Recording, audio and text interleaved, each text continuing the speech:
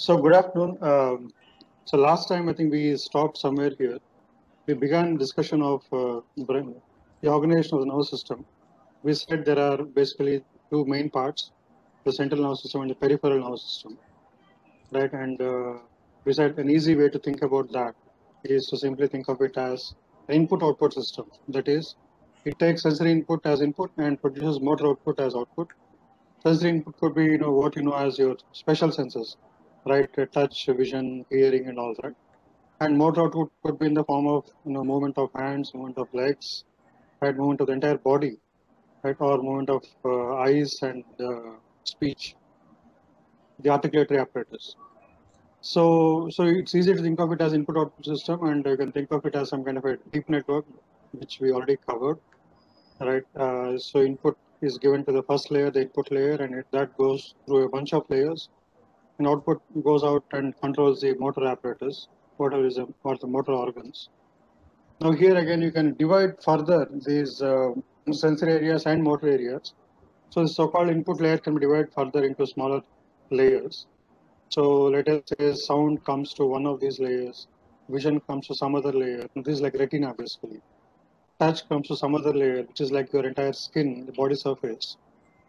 And uh, all these three different sources of uh, sensory information, they go into one of these hidden layers and then that information propagates over a series of layers. And finally, it, uh, it goes to a part of the brain which controls your motor output, like you know, controlling your eyes or hands and legs and speech and things like that. So we can think of a general schematic like this. And I, we also talked about the three different levels of control. So this input and output, right? We talked about it as if it's a single pipeline, but actually there are multiple levels here. So the, the lowest level is at the spine level of spinal cord itself. Like you know, these are called reflexes, where input goes to the spinal cord and output comes back immediately from the spinal cord itself at the same level of the spinal cord. So that is the spinal cord level. The next level input comes from the world and then goes into the spinal cord and goes up to the brain, but goes to the subcortical level, not all the way to the cortex, but stops at subcortical level and comes back, producing movement. So that is the subcortical level. Then higher in the in the highest level of control, information from the world goes into the spinal cord, goes all the way to the cortex, comes back down, and then produces movement. So that's the highest level. Okay, now, so the one there is a sheet of the of neurons covering the entire brain surface. So this is, this is called the cortex. It has uh, six layers of neurons in that. Um, so and everything deep inside the brain, other than the cortex, right? There are lots of different masses of neurons. These are called subcortical structures, and very often these structures, right, uh, form you know, small assemblies, you know, form uh, different circuits, and these circuits go by different names. We'll come to all that later. Okay, so you have the brain surface, which is the cortex, and then internal parts of the brain are called the subcortical structures. Now, this brain surface, the cortex, you know, is grossly organized in terms of large lobes, right? Uh, so these are the frontal lobe. I think we already seen it once in one of the earliest classes. So the pink part here is the frontal lobe. These are like you know continents, right? And uh, the yellow is the temporal lobe, the green is the occipital lobe and the blue is the parietal lobe. Okay, and then way back you have the cerebellum, that uh, brown organ with you know kind of stripes on it. Now the lobes have different regions uh, which have different functions. So we'll come to those functions later. This just to give an idea that you know different functions are, are uh, distributed over these different lobes. Uh, so for example, in the so one big landmark right, or big big thumb rule there that you can use is uh, you can think of this this uh, big landmark the central sulcus. So we need to get introduced to the terms sulci and gyri okay and uh, sulci is plural and sulcus is singular. And so the other term is gyri or gyrus uh, so sulci are these chasms or valleys, sorry. Let me just say valleys. And gyri are like mountains. Um, an easy mnemonic to remember which is which is in Hindi or Sanskrit. Giri, right, is a mountain. Okay, like so. So gyri sounds like Giri. Okay. So these, uh, so you can see lots of. We'll look at some of these names later on. But one key landmark that you can remember will be quite useful is a central sulcus. It's a valley and it is central, so therefore it's called central sulcus. And so you can divide the brain into the front part and the back part, okay, loosely speak, or the anterior brain and the posterior brain. So this is posterior. Anterior, posterior. Anterior and posterior. Anterior is front, posterior is back. So the posterior brain is all about input, or you know, this is a very broad thumb rule. Okay, and anterior brain is all about output. Input, output. Yeah. So uh, so input can be straight away input layer or the or layer. So again, refer back to this general schematic. So the there are this input layer proper, which is sensory inputs, and then you have can have many number of hidden layers, right? So if I can divide this whole network into two halves. There are layers which are close to the input side, layers which are closer to the output side. Okay, so this anterior and posterior brain is somewhat like this. The sensory areas and then slightly higher versions of the sensory areas going to the midmost level and beyond that uh, the at the other end you have motor areas and you have these hidden layer which, layers which are close to the motor output. Okay so these also can be considered like motor. So i can think of this entire section as sensory which is a terrible uh, simplification but it's okay for now.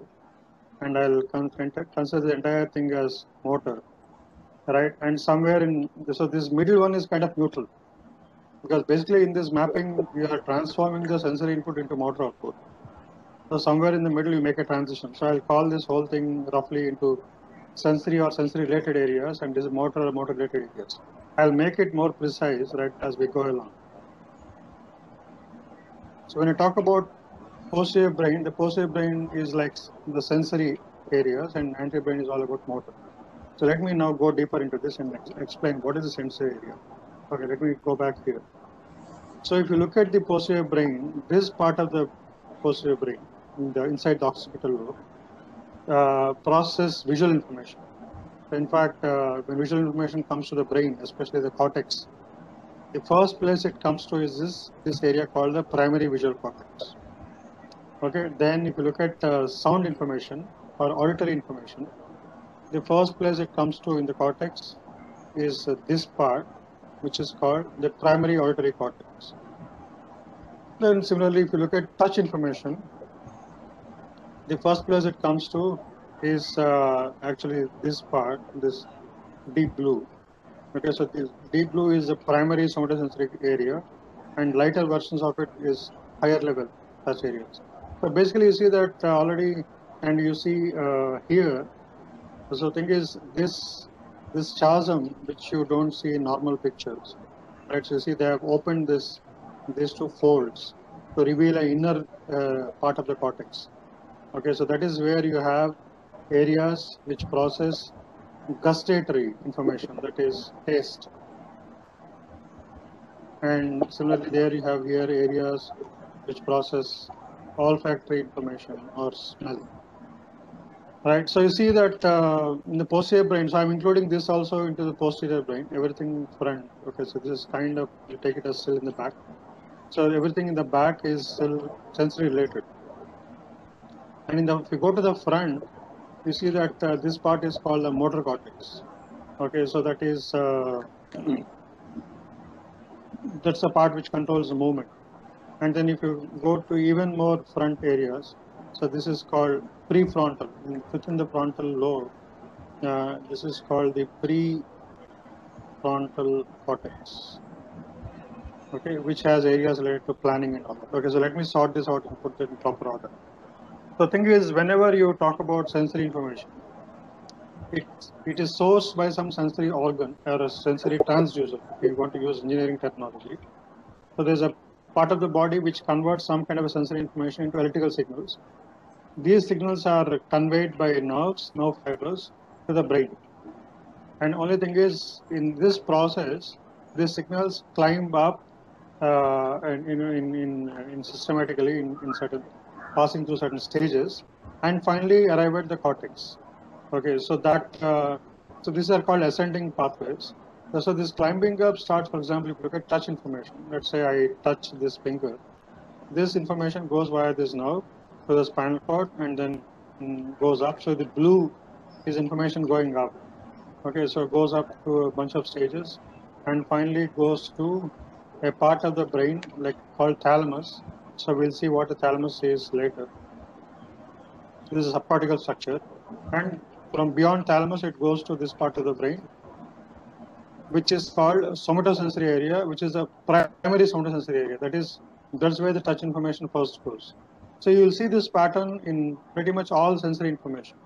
It is sourced by some kind of a sensory organ or a sensory transducer. In this case, the skin converts your mechanical input into an electrical input. From there on, it makes an upward journey uh, by coursing along some nerve fibers there are some bunch of stages. You don't have to worry about all the names and all that. It, it goes through a bunch of layers, and finally it ends up in uh, the. It, so everything is the you know surfaces in the cortex. Okay, it, it's like imagine brain as some kind of a multi-storied building. Right, multi-storied building. There are multiple levels. So there are you know doorways and. Uh, there are many entrances. So there are many doors, many entrances. So people can enter it from many doors. So then they climb up, right, these stories. And finally everybody arrives in the, uh, the terrace. Okay, so everybody comes and meets in the terrace. So the terrace is like the cortex. Okay, so, so this is how touch information uh, proceeds right? So this area, right, somatosensory cortex, right? So this is the area, this blue region, is what is shown here. So this, this, this is like a section. This is called a coronal section. So in this little portion is what you are seeing here. So similarly, if you look at visual information, so obviously you know that vision starts from the eyes. So if you are looking at something, that information falls goes into the eye and falls on the retina. So image is formed on the retina. So this retinal information goes again through a bunch of nerves, uh, and which goes through a bunch of stages. So here again, uh, say, uh, visual information from retina straight away goes to uh, a part of the thalamus. So thalamus is like a big junction box, right? Most sensory information has to go through thalamus. So I'll talk more about thalamus later. And from thalamus straight away it goes to the primary sensory cortex, the primary sorry primary visual cortex which is the first stopover of visual information in the cortex. Okay, and after that it goes to a bunch of layers. We'll discuss all that in detail uh, when we discuss visual information or visual path, visual system. Again, same pattern you see in the auditory cortex, right? So information from the into the that goes into the ear, right? This is your tympanum or the eardrum, right? And there it uh, the air coming in, you know, the air waves vibrate the tympanum tympanum then moves these little bones called malleus incus and stapes. And then these bones uh, kind of start tugging at a certain membrane called the basilar membrane. Right? And then the membrane vibrates because of all this kind of tugging activity. This membrane is located inside a structure called cochlea. Right? And uh, from there on, it also inside that cochlea, you convert, that's when you first convert the mechanical stimulus called sound into electrical signals. So until this point, the mechanical waves of the air are converted into first into the mechanical vibrations of the tympanum, then mechanical vibration of tympanum converted into the mechanical motions of the small bones. Mechanical motion of the bones are converted into mechanical vibrations of another membrane, which kind of looks like a long, like a tongue, okay, like a long membrane. Uh, then only then finally inside, so there's a lot of mechanical to mechanical conversion within the auditory system, like at the, at the level of inner ear. And only inside the cochlea, this mechanical information is converted into electrical signals. From there on, nerves take over. So the auditory, auditory information goes courses along these nerves, goes up to the first stopover, that is called uh, the cochlear nucleus, and the second stopover is superior olivary nucleus. The third stopover is inferior colliculus, and you, need not mug up all this. I just want to have an idea that this is a pattern. It goes through a bunch of stages, right? And uh, then it, this is your thalamus. Thalamus is a much bigger structure. Within the thalamus, there are many different uh, smaller regions. Uh, in there's a region called medial geniculate nucleus, right? And then it goes to the uh, auditory cortex. So you see the pattern that you see in all of them is, so this is a sensory input, right? This is the transducer.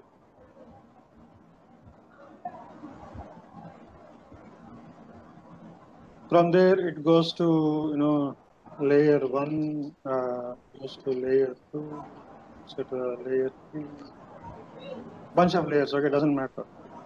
Finally, after that, it goes through, ends up in primary sensory cortex. CTX is cortex.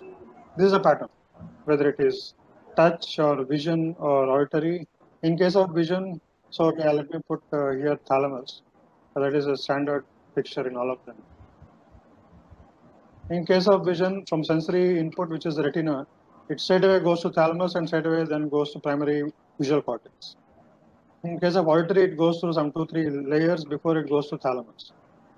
In case of uh, touch, again, it goes through a bunch of layers and they're all in this, some of them are in the spinal cord. So what I want to you know emphasize here is don't worry about these anatomical details. Just look at the connectivity pattern because if you look at the connectivity pattern, it looks very simple. It seems logical. If you look at the anatomical, you know, all the twists and turns and bends and all, all the names of the nerves, it looks you know mind-boggling. It looks quite complicated. This is what a medical student will worry about. Because obviously when they cut the brain open, they'll have to know which which wire is where and what is what is the wire they're looking at. Okay. But for us, we want to understand the logic of it because this course is about neural principles and not about you know the anatomy. Okay, so once the information goes to the cortex, auditory cortex, uh, that is available here. So this is the so this whole thing is the temporal lobe, right? So the this upper part of temporal lobe is called the superior temporal area. Okay, so that is where you have you know the auditory information ends up there. Then you have olfactory system from nose, right? It is information about smell is conveyed by olfactory nerve. It goes to a region called olfactory bulb. That goes to a bunch of uh, you know cortical areas and also goes to a subcortical structure called amygdala. Okay, so the so thing is, the three major senses that is sound, vision, and touch have one kind of organization the other two senses, the taste and the olfaction are somewhat older, evolutionarily older senses. Uh, so their uh, organization is slightly different. So I keep, so I'll keep talking about these three. They have a similar organization. Okay, so now we talked about the how the sensory information starts from the sensory transducers, climbs uh, over a bunch of regions. So I didn't show all these. I'm not showing all the regions in this picture, but there are regions and and sorry, uh, sorry, they're all here, and uh, so so you end up with the primary sensory area, sensory cortex. Now after that, it projects another layer, right? So let us see what this second layer is. So the second layer is called parietal lobe, right? So there are these important parietal areas inside the parietal lobe. Now, there's another picture I made to show you. Oh, okay. So see that auditory information comes here, right? From there, these higher layers that we are talking about proceed in this direction. Okay, visual information comes here. From there, the higher visual areas proceed in this direction. Touch, touch information comes here. From there, the higher touch areas proceed in this direction. They all meet in this huge area which is called posterior parietal.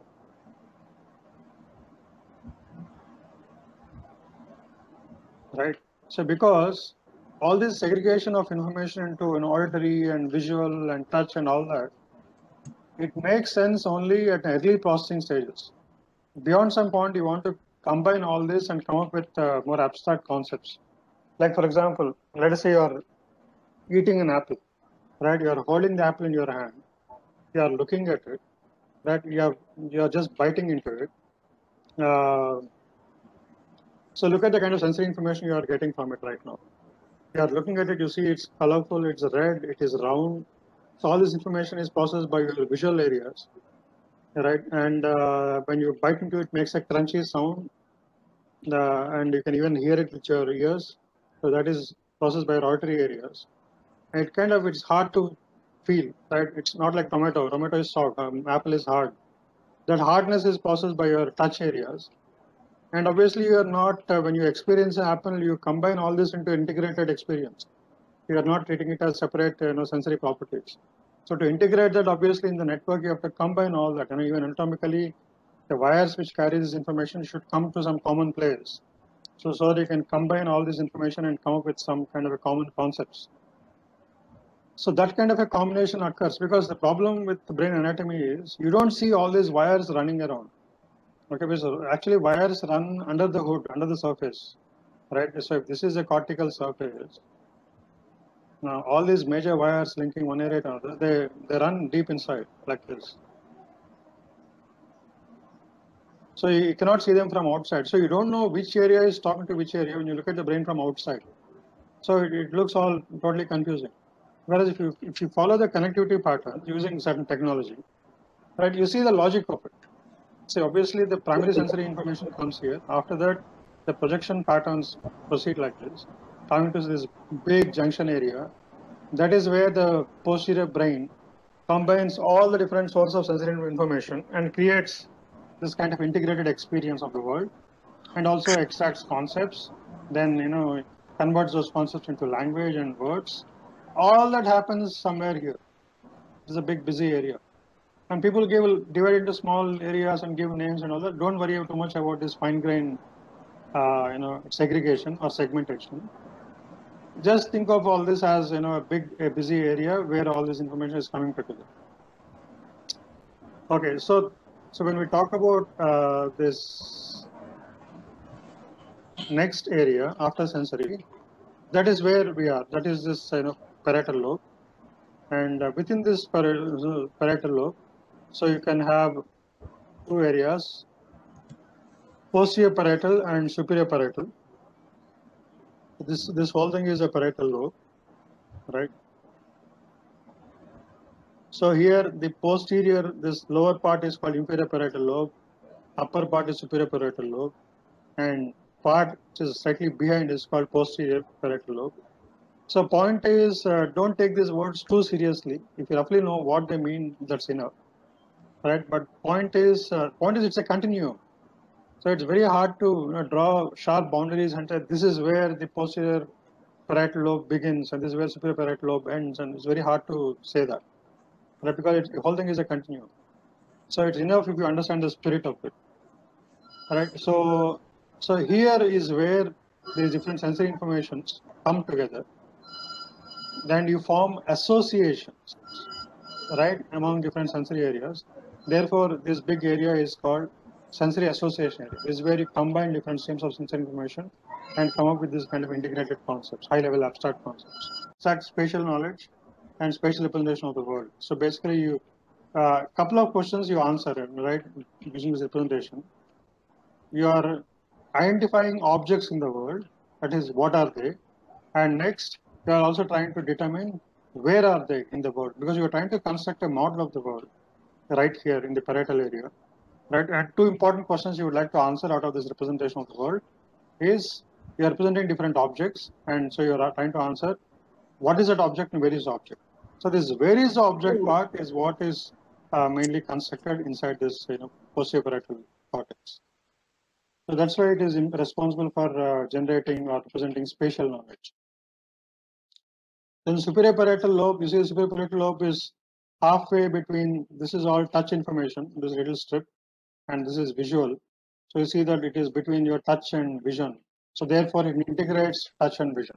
Okay, so there you will have neurons which respond to both visual information and touch information. But this patch of cortex is between touch and vision.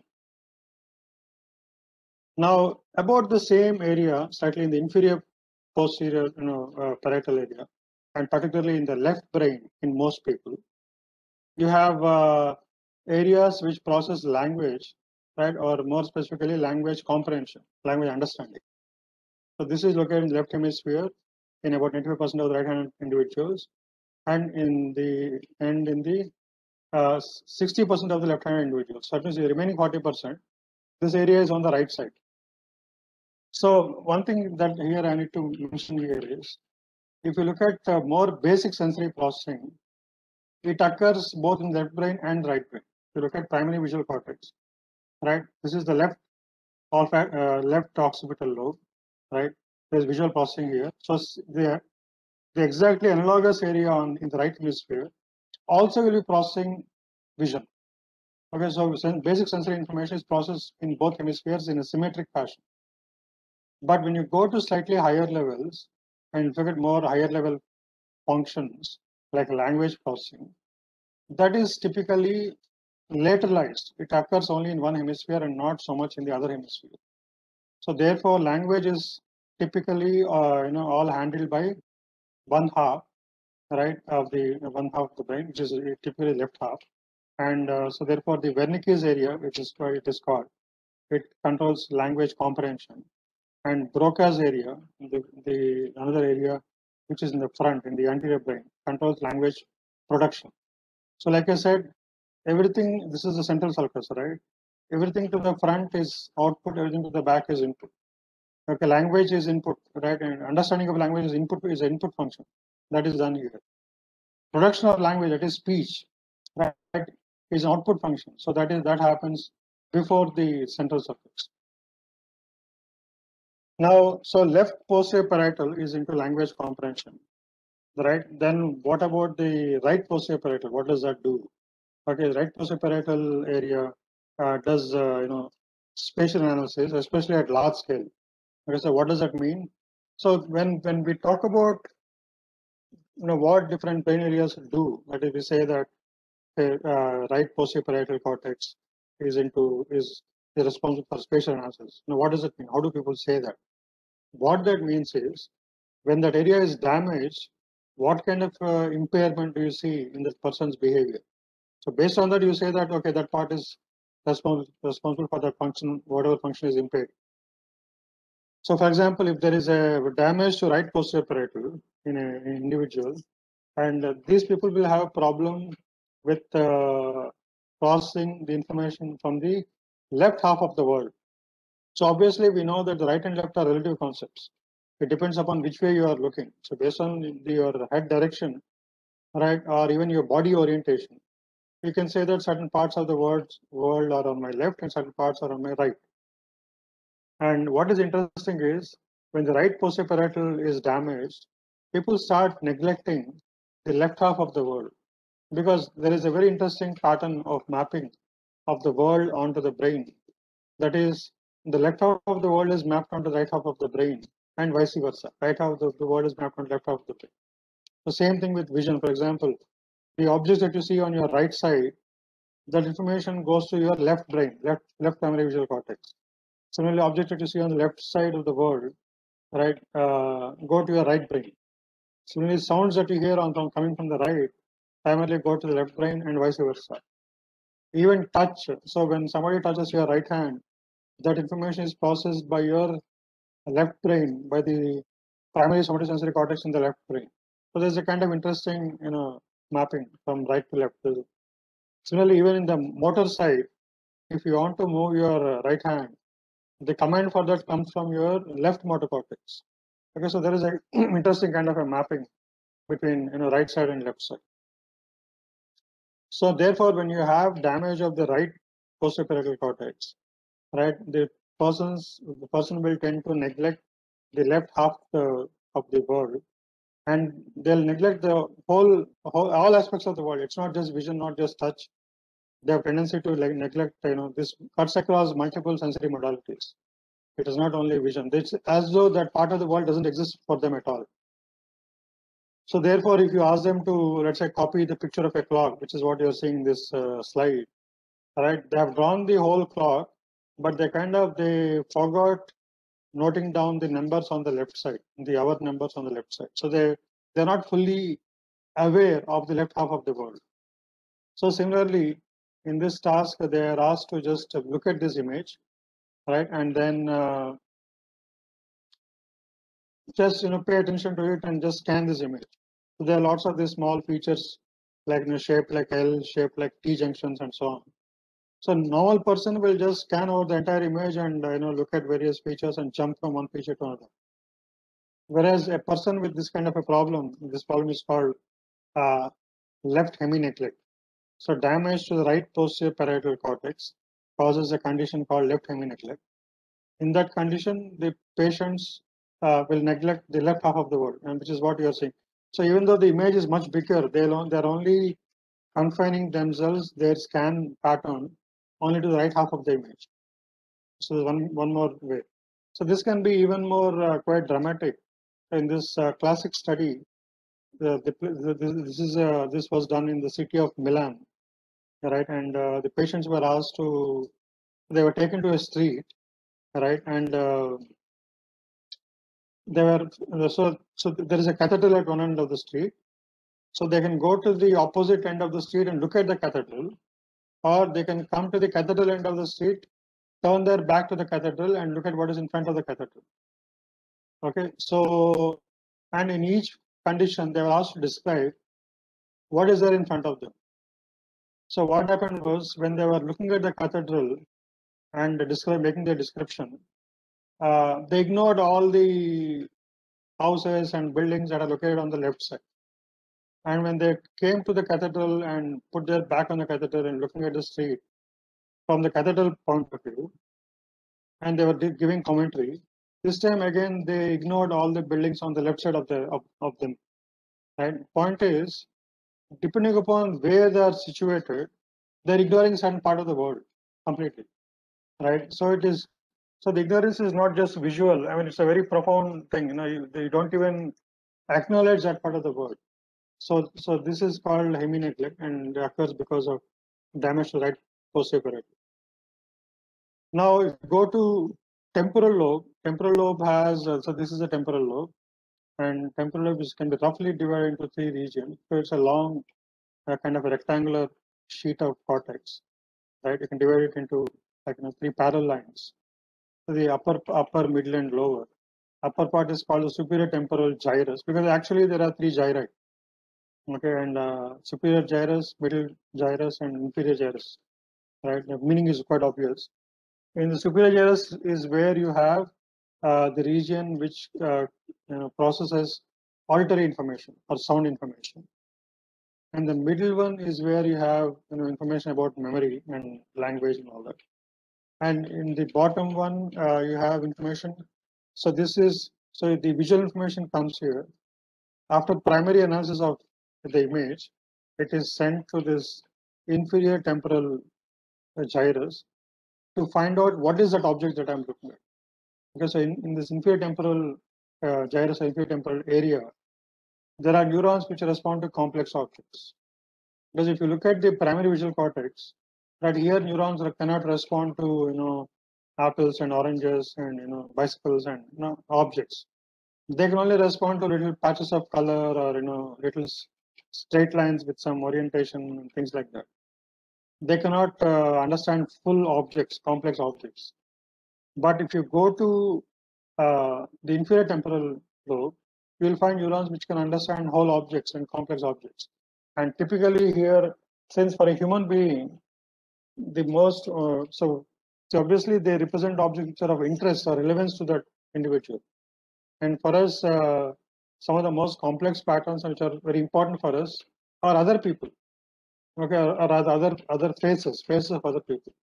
So there is a whole region inside the inferior temporal area where neurons respond to face images.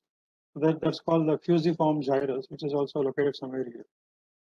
Okay, so now let us come to the motor side. So, so the so motor side, you know, can control your eyes and hands and legs and all that. And the broad thumb rule I've given is the front part of the brain, the anterior brain is all about output. So motor is all here. And here again, there are lots of subregions. Let us look at them. So again, let us uh, go with the this grand uh, you know, landmark, right? So this is like this is your central sulcus. And just before the central sulcus, in, in what is called the precentral gyrus, because there's a gyrus here, you have the primary motor cortex. So if I simulate neurons here, uh, because when it comes to sensory information, the way you probe the neurons is you present some sensory stimulus, let us say show a picture and see if some neurons are responding to that. You play a sound, see if some neurons are responding to that. Or you touch the skin somewhere and see some neurons respond to that. That is how you probe sensory response of the brain to, to input. But if you want to understand output, you don't present anything. You activate the brain and see which output is generated. Okay, so so for example, if you activate neurons in the primary motor cortex, it will produce some movements, and these movements are typically very small local movements. The primary motor cortex is still a very low level motor cortex right? Just like primary sensory cortex is a low level sensory cortex in the hierarchy. Primary motor cortex is also low level motor cortex in the hierarchy. If you activate neurons here, it might produce and produce a twitch inside a muscle somewhere, right? Or maybe it will produce a small movement in your finger, right? It won't be able to produce a huge, uh, for example, if you want to wave your hand, you cannot produce that kind of movement by activating some part of the motor, primary motor cortex. Now there are higher motor areas, like the supplementary motor area, for example. So here, if you activate uh, the brain, the activation means just put an electrode and then pass current. Because brain activation means it's all electricity, right? We have studied that in the you know last class or class before that. So pass current here, and then if you activate some part of the supplementary motor area, it will produce a huge movement. Maybe you will just you know, kick your leg, you know, or you know, maybe fling your hand in some random direction. That's the kind of movement you will see if you activate the supplementary motor area. Premotor cortex is also very similar, uh, but only thing is one difference between premotor and supplementary area is neurons in premotor cortex even respond to visual information. That is, when you produce motor movement, some movement, there are two kinds. You are responding to some stimulus and producing movement. That is a one kind of movement or you are not responding to any stimulus, you are producing this movement all by yourself. Right? So let us say you are you know, sitting quietly in the couch and you got bored and suddenly you want to go somewhere. That stimulus has come from within you. So you're getting up all by yourself. That kind of a command typically comes from the supplementary motor area. But uh, somebody throws a ball at you and you move your hand to meet the ball that kind of a response, activity, then that kind of a condition, you will see activity in the premotor part So that is the main difference between supplementary motor and premotor. So let us look at some of these things. So if you activate the primary motor cortex, it will produce only local activation of muscles. It won't produce a huge movement of a, a whole leg or something like that. But if you activate premotor cortex, it will produce a sequence of movements, more complex movements. Especially this area is active in case of visually guided movements, like for example, catching a ball. Uh, the supplementary motor cortex is uh, is active. Again, if you activate that, it will produce a sequence of movements. But these movements are typically intrinsically generated. So This is the main difference. This is intrinsic, this is externally generated. And one more thing is, uh, even if you are just imagining movement, you're not actually producing movement, you're just imagining movement right? Mentally imagines movement. Even then you produce activity of SMA. And SMA is also very active when you're producing extremely complex movements. Like, you know, let's say you're a musician, you're playing a piano or a violin or a veena or something, right? It involves lots of complex hand and finger movements.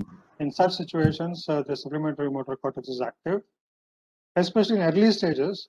But once it becomes more well-practiced movement, the activity switches to lower levels to primary area and motor area and premotor area and all.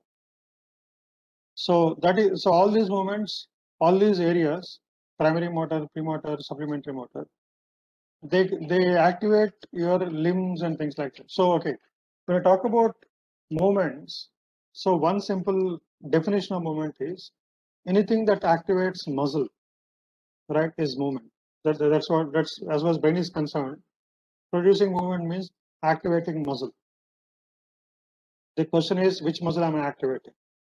Okay, so there is uh, so all, all that you are you know that you are able to control, like you know, like your hands and trunk and legs, everything. All these movements are controlled by what is called skeletal muscle.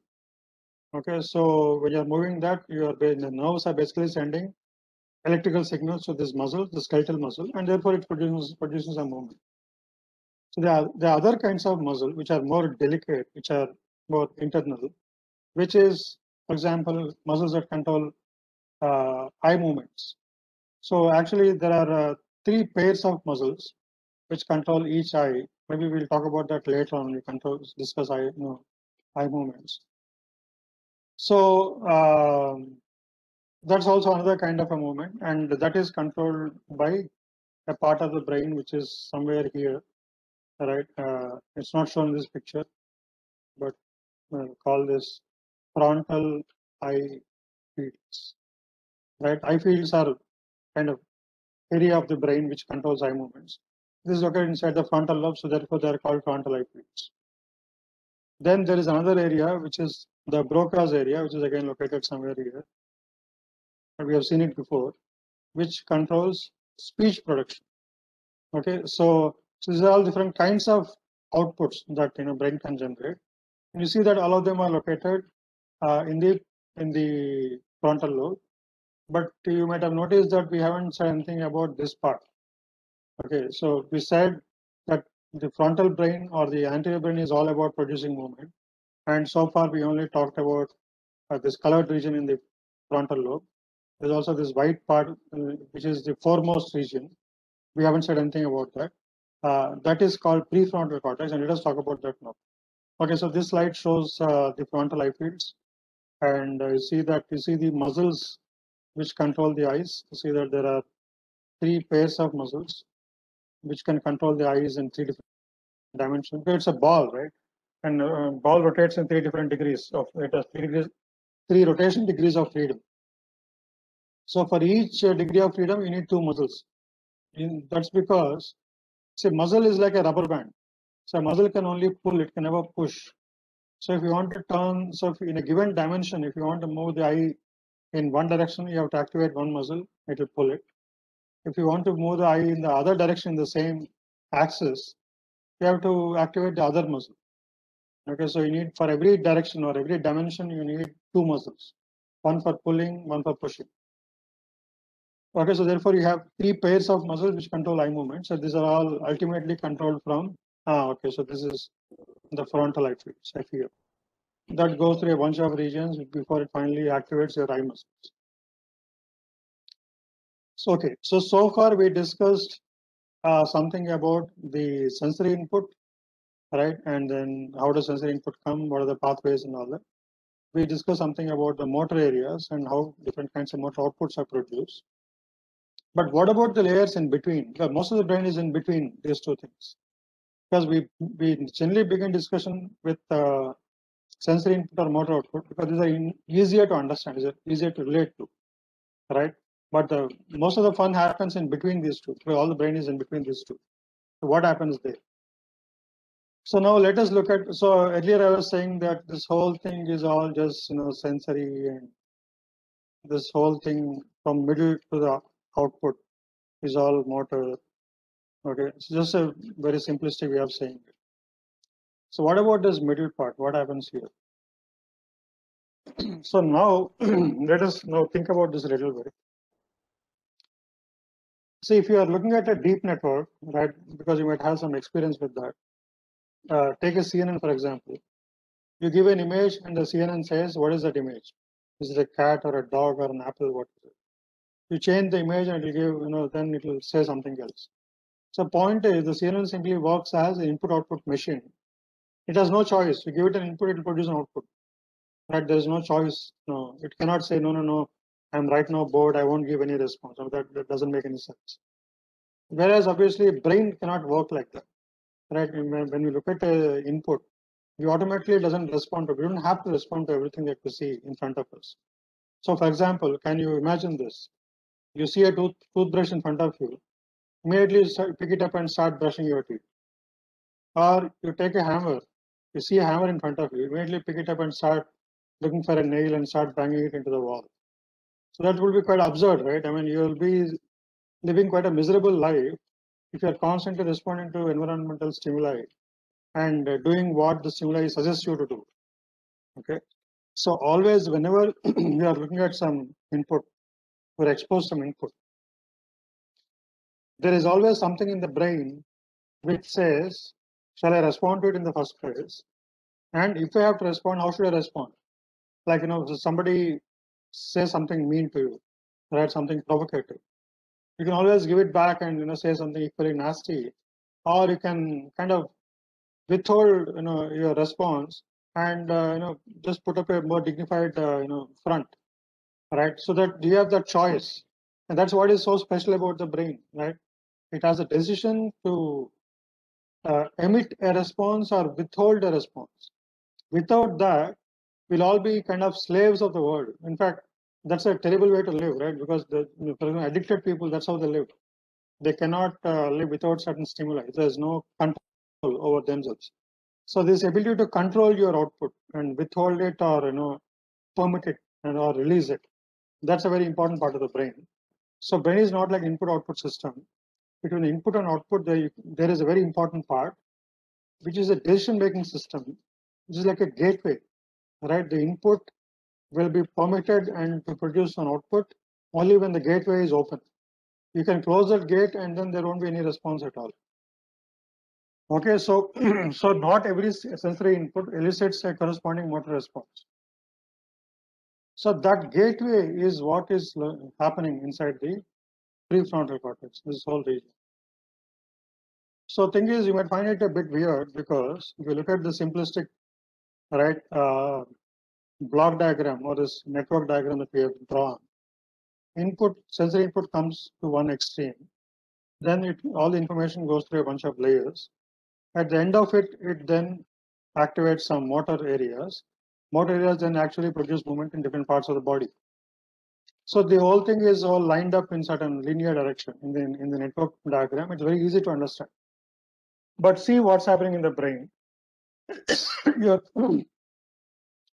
primary sensory information comes to different parts of the uh, posterior brain, right? Uh, so visual information comes here, auditory comes here, touch comes here, all very you know scattered, very you know, far from each other.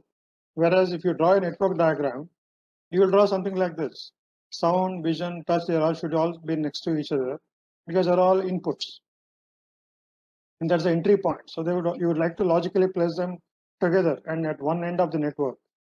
But whereas in the brain, they're all quite remote from each other. so the sound is here, vision is here, and touch is here. Now in your network diagram, all the sensory outputs go to the next layer and next layer, projecting in a systematic fashion, in a sequential fashion. So I'm going from layer to layer to layer. Whereas what's happening in the brain? Here also logically it's projecting like that, but anatomically they are all placed in a very jumbled order. It's not ordered like this so that you can easily understand. So the next layers are not like that in a linear order. Next layers are here in the center of the posterior parietal. So like I was saying earlier, the auditory projects here and then the vision projects here and touch projects here. They all meet in this big central area called the posterior parietal. This is the next layer. Now, after that, where does it go? After that, it, it doesn't go to simply some nearby region. It digs through the deep, the volume, the body of the brain, and ends up somewhere here. The posterior parietal. So the logical next stage, or the centralmost stage, right, which is which is this one, right, is here in the posterior parietal. And here again, you can think of multiple sublayers Okay, that's a different matter. But point is, central layer is not in the center of the brain. The central layer in the network is in one end of the brain. So this is what is very confusing when you try to understand brain. So therefore, it will be a lot more intuitive if you uh, take guidance from this kind of a simple network picture and then try to interpret the meaning of different brain regions by this comparison. So your centralmost region is here. After the centralmost region, you have to go to different uh, layers, subsequent layers, which then activate different uh, motor uh, organs, right? And that happens here.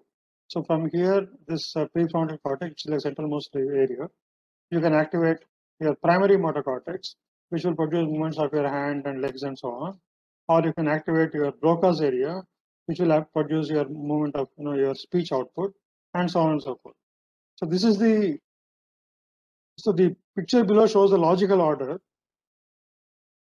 The picture above shows how jumbled the brain areas are, although they are actually implementing the kind of order that I'm showing in the lower part of the image. So brain's anatomy doesn't follow this order, it follows some other order because the placement is different. The connectivity pattern is just like what I'm showing here in the figure below, but the placement of different regions is pretty complicated. Okay, so the prefrontal cortex is here, this this front in the front. And here you have, uh, so this is a very important area. This is where the decision making and all this takes place. And your sense of self, the sense of your as a sense of being a person, right, with your own ideas and plans and you know future dreams, and all that comes from your uh, you, know your prefrontal cortex. And a lot of our earliest understanding of this part of the brain came from this accident, which I mentioned in the last one of the previous classes. This guy called Phineas Gage uh, was in an accident, a, rail, a, railroad accident, where a crowbar went through his brain. And in fact, in this picture, this is a reconstruction based on his, I don't know, uh, there's no X-ray at that time. But I don't know, based on his, uh the dead body, must have done a reconstruction. So it went through his uh, prefrontal cortex. The person survived that accident, survived the surgery, but there were serious personality changes that were observed in that person's behavior after the surgery. So this his doctor was uh, this was the commentary that of his doctor about the patient's condition after the surgery. He said Gage was fitful, irreverent, indulging at times in the grossest profanity. He would use foul language right, which was not previously his custom. He was not like that before, before surgery. Manifesting but little deference for his fellows. He was not respectful. Earlier he was respectful, he would talk nicely to other people, but now he's very rude. Impatient of restraint or advice when it conflicts with his desires. So if he sets his mind to something, he wants something, he cannot wait. And if you ask him to wait or if you ask him not to do something, he'll get very upset at times pertinaciously obstinate, so he's very stubborn in you know in pursuing whatever he wants, yet capricious and vacillating. So he's not only obstinate, but sometimes he's also quite capricious, fanciful. That is, he makes a plan and immediately he changes his mind very quickly and he vacillates. Should I do it or should I not do it? Right? Devising many plans of future operations, which are no sooner arranged than they are abandoned in turn for others appearing more feasible. So basically what he's saying is uh, this person can be very stubborn or can obstinate, it might say that I want this and that's all, nobody can convince me against it. Or he can show the opposite behavior where one moment he wants it, next moment he doesn't want it. And keeps changing his plans. So this is what happens when the prefrontal is damaged. So that gives an idea of what the normal function of prefrontal must be. Right. So prefrontal normally is gives you first of all a sense of a stable sense of self right and also it gives you uh, you know makes you plan right for future activities because the way we produce movements is not simply by directly responding to sensory stimuli right suppose you're studying for an exam you're not responding to stimuli you have a big plan you might think that okay i have exam coming up on friday so i'll set up a time Thursday evening for I'll study for this, and Thursday, uh, I don't know, you know, Thursday night I'll study for this, Thursday evening I'll do something else. And you have a big plan. You're not constantly responding to stimuli. Right? All that planning happens in your prefrontal. Okay, and if the prefrontal is damaged and you cannot plan, you cannot stick to a plan. You're very vacillating. Or even if you stick to a plan. It could be completely an absurd plan, no connection with your ultimate goals. So, so you see the importance of uh, prefrontal cortex. Although the person survived the accident, I mean, it's a quite a miserable life because the most important functions of human being, ability to have goals, ability to have plans, and stick with those plans for extended periods. All these uh, you know capacities are destroyed because of damage to this very important part of the brain. So prefrontal is involved in goal-oriented goal-oriented behavior, which involves planning and requires working memory. So there's a part of the prefrontal cortex. Prefrontal cortex is not just one singular area; it has lots of smaller regions, and all of them work together in in in making these plans and all that. So one of those areas is what is called dorsolateral prefrontal. Uh, so this region has a role in working memory and decision making. And uh, so therefore damage to this part will give cognitive deficits. Uh, you'll have problem with you know speaking, with verbal fluency, and uh, most importantly, it has problems in what is called delayed response task.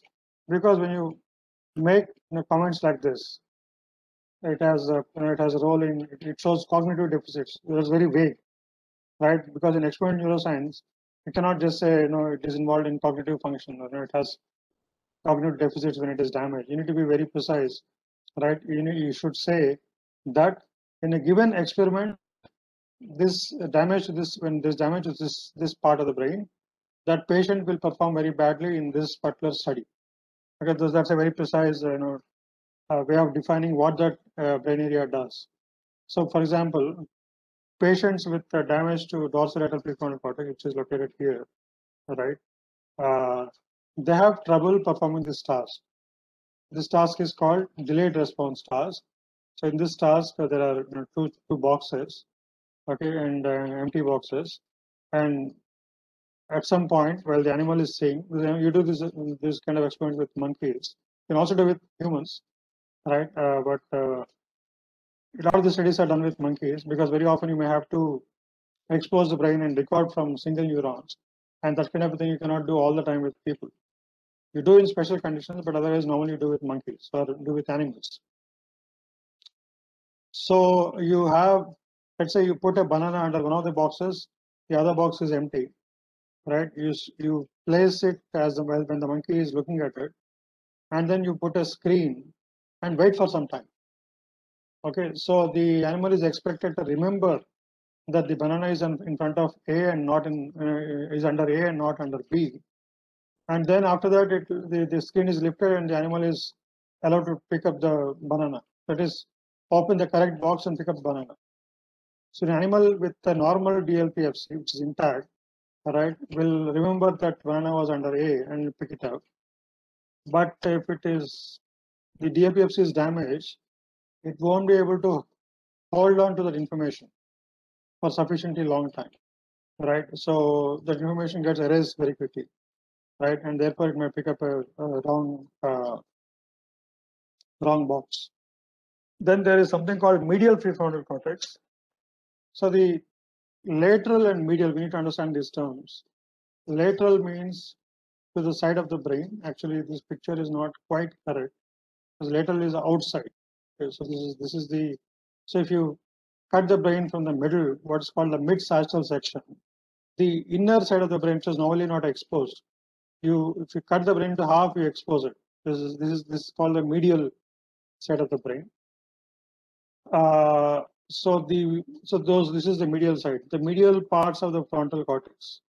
Okay, so that is called the medial prefrontal cortex, right? And this is again also involved in decision making but uh, also uh, involved in the retrieval of remote long-term memories, consolidation of memory, short-term memory, uh, and so on. A lot of memory-related operations. So damage to this area causes impaired stress response and deficits in retrieving you know, long memories from long ago. Okay, so that gives an idea of uh, kind of a big map of brain's cortical areas. We only have discussed cortical areas in this uh, class. So to summarize, cortex is a sheet of neurons covering the entire brain surface, the cerebrum surface, cerebral surface, and it has six layers of neurons, right? And uh, we have seen that sensory information flows upwards via distinct pathways, right? And uh, motor information flows downwards, just a manner of speaking, and downwards via distinct hierarchical pathways. And between these two, so the sensory motor, sensory information and motor, and uh, where sensory, sensory information ends and motor information begins, right? Somewhere at that junction point, at the central most layers, right? That's where you have the prefrontal cortex, right? Uh, which is involved in decision making. Decision making means deciding which action is appropriate.